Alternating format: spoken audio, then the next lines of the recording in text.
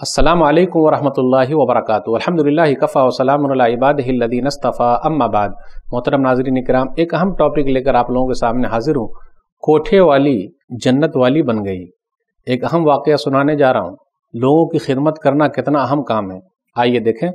صحیح مسلم کتاب السلام، حدیث number two two four five ابو حرار رضی اللہ تعالیٰ بیان فرماتے ہیں کہ ایک کتا جو ہے پیاس سے منہ مار رہا تھا۔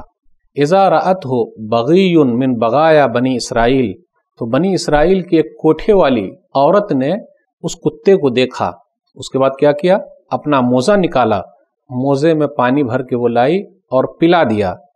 فغو فیرا بھی تو اللہ تعالیٰ نے اس کوٹھے والی کو معاف کر دیا۔ اس حدیث پر غور کیجیے، اس کوٹھے والی نے اللہ سے معافی مانگی کیا کہ اللہ میرے گناہ کو معاف فرما دے؟ حدیث میں نہیں ہے۔ صرف پانی پلا دیا، وہ بھی کتے کو پانی پلا دیا۔ اب آپ ہی بتائیے، انسان کو پانی پلائیں گے تو کتنا بڑا ثواب ہے؟ کتے کو پانی پلایا اور اللہ نے کوٹھے والی کو جنت والی بنا دیا، گناہ کو معاف کر دیا۔ آئیے ہم اور آپ بھی دیکھیں، اپنے سماج میں بہت سارے لوگ ایسے ہیں جو پریشان ہیں، ان کی خدمت کریں، سوشل ورک میں آگے بڑھیں، لوگوں کے کام آئیں۔ خیر الناس انفعهم للناس۔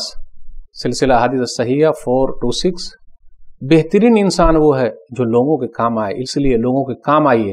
اور جنت میں جانے کا راستہ بہت آسان ہے، کوشش کرنے کی ضرورت ہے۔ تو وہ کوٹھے والی، کتے کو پانی پلانے کی وجہ سے جنت والی بن گئی۔ اللہ ہم سب کو جنت میں داخل کر دے، لوگوں کی خدمت کی توفیق دے، جانوروں کی بھی دیکھ بھال کرنے کی توفیق دے، آمین۔ والسلام علیکم ورحمۃ اللہ وبرکاتہ۔